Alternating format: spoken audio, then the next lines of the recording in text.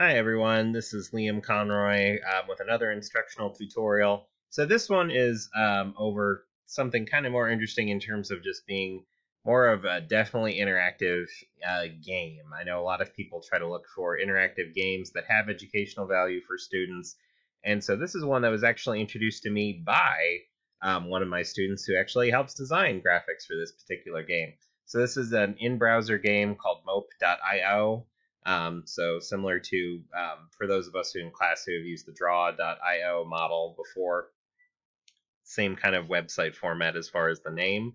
Um, so with this one, this game is really all about attempting to survive in varied environments. So depending on which environment you're in, you will encounter other types of animals who are other players on the server for the most part, but I think there are also some that are controlled by um, computer players as well, um, and food in the form of like plants and other little things that you can try to eat, stay hydrated. Um, so it's a very simple look at concepts that you might look in biology, ecology, zoology, but it is a very, very, very simplified version of these types of events. So I would say this might be a good introductory thing as like an icebreaker to a particular unit or something along those lines. I would not say that this has the value to be like a really significantly deep thinking project. Um, this one does have a subreddit. So, as far as I can tell, the subreddit is mostly devoted to talking about changes within the game um, and things that they're doing to adjust it. So, when I look through these, um, again, the student who kind of linked me to this I think is a fairly key designer on it. So I actually have one of the graphics that he designed for this game, although he designed several. So here's a hawk. Um, again, it's done in a very specific kind of cartoony style. Um, but again, if you have a student who is interested both in art and in terms of looking at the natural world, this may be a good fit for them if they wanted to try and interact with this on a ground level and see about themselves contributing art to this particular game. I don't know how open or closed that particular area is, but if you have a student who is really devoted to that kind of craft, it might be something good to get them linked into. Okay, so looking here again, this is a game that I don't know the amount of regulation that it has for online interaction. So if we look at the settings here, the little gearbox next to where you can put your name in, um, it gives you the option to pick different regional servers. Again, I'm playing this one on a USA server, but this is at like 10 at night, so I don't know exactly how many people to expect to be on on here, but we'll take a look at it. Um, we'll take away um, names and chat. That way, hopefully, if there's anything that is significantly inappropriate, we won't end up seeing that when we're playing through. I'll go ahead and I'll put in my first and last name here. Let's just shorten it to the first name, actually and we will go ahead and we'll start to play. So I've only ever played this once before um, at my student's suggestion. The main thing that we'll see as far as mechanics in this game, you will over time adapt, but the adaptation changes are major leaps um, that will totally transfer you into different environments depending on which path you pick. So I will attempt to play through this either until I die or start to run out of time as far as what Screencast-O-Matic can capture, whichever comes first. So we'll kind of analyze play as we go along, and we might talk about some of the things that students can look into um, as far as different parts that they could explore, as far as questions about this type of game that you could have them answer. So let's hit play, connecting to the game.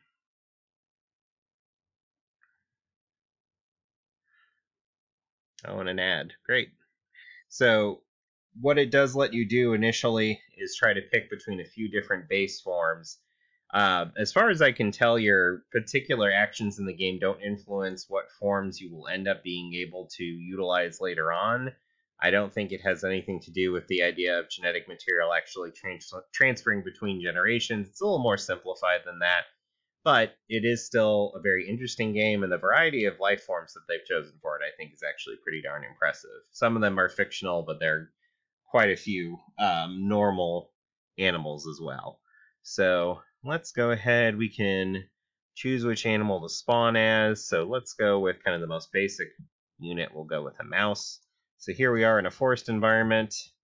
and we are clicking, we're trying to move around and get to food in the environment. So a lot of the items that you can pick up are food.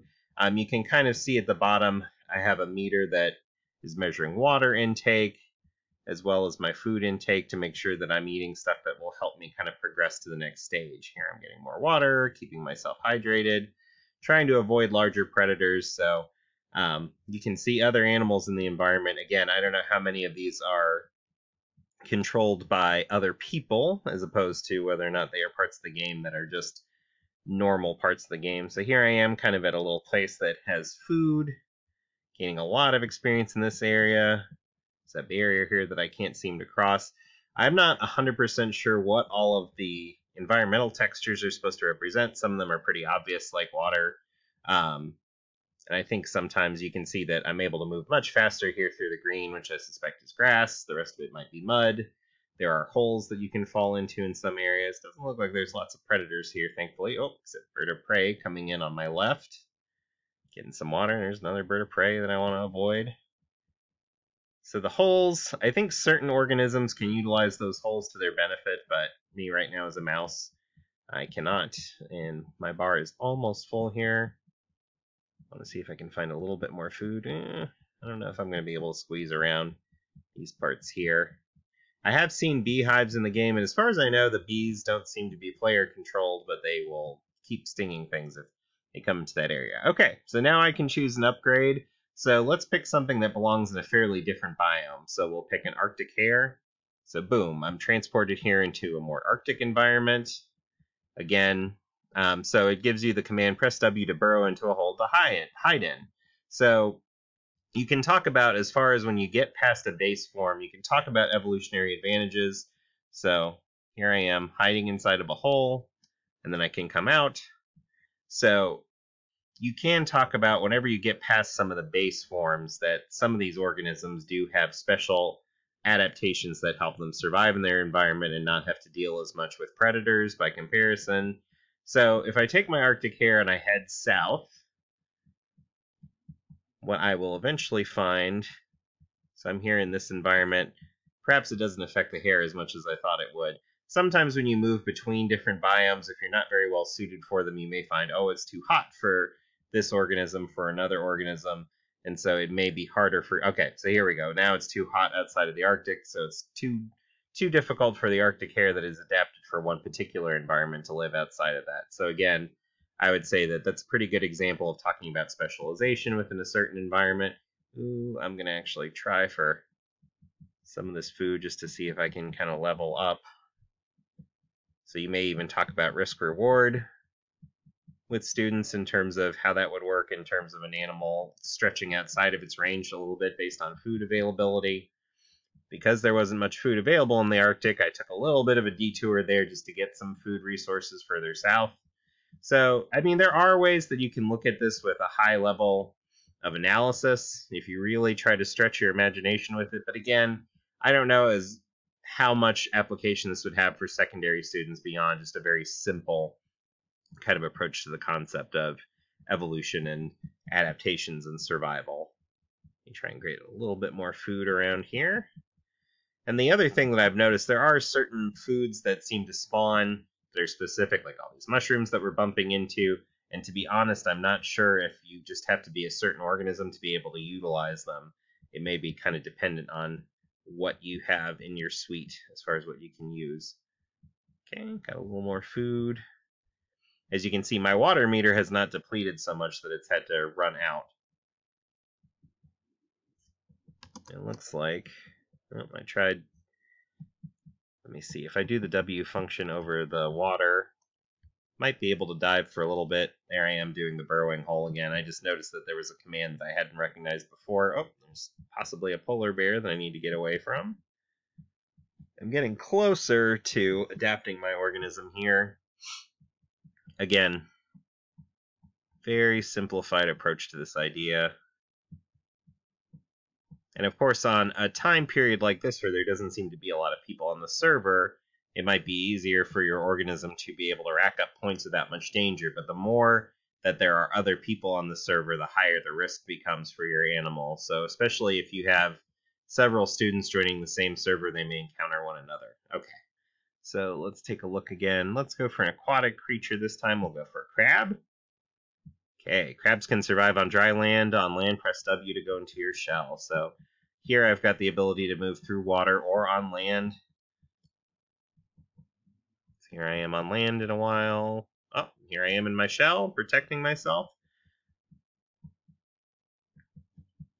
So again, if I think about the role of crabs naturally in the environment, um, it's kind of more of a scavenger perspective.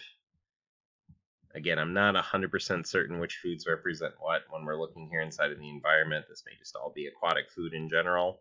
I don't know if I'm in a position now where I can even attack other characters or not. Doesn't look like it. There are some predatory characters that are capable of doing it. So there was an orca that went through right there, but I'm safe up here on dry land away from the orca. So again, you can talk about adaptations like that, being able to move in and out of water and onto land, things of that nature. So I do think that it brings up good discussion points. Um, you could potentially devote either part of a day or a day to this type of lesson and ask students, you know, what types of adaptations actually helped you to survive in the environment. You know, it gives you the sense of urgency that a lot of other simulations of evolution don't necessarily give you.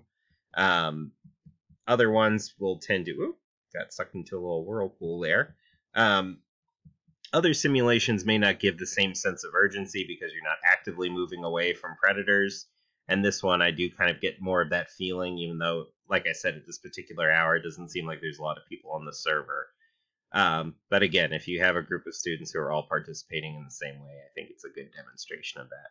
So again, may need some planning on your own part for trying to think of how to best present this as a lesson to students, but again, I think it's phenomenal to have something like this that's kind of a neat little overview of evolution in a very general sense. Oh, looks like I can attack little guys. Um, and that gives students a chance to potentially interact with one another, interact with other students online. Um, it definitely gives some interesting abilities to kind of interact in a way that um, has them analyze just survival in general, helps teach some basic biology principles.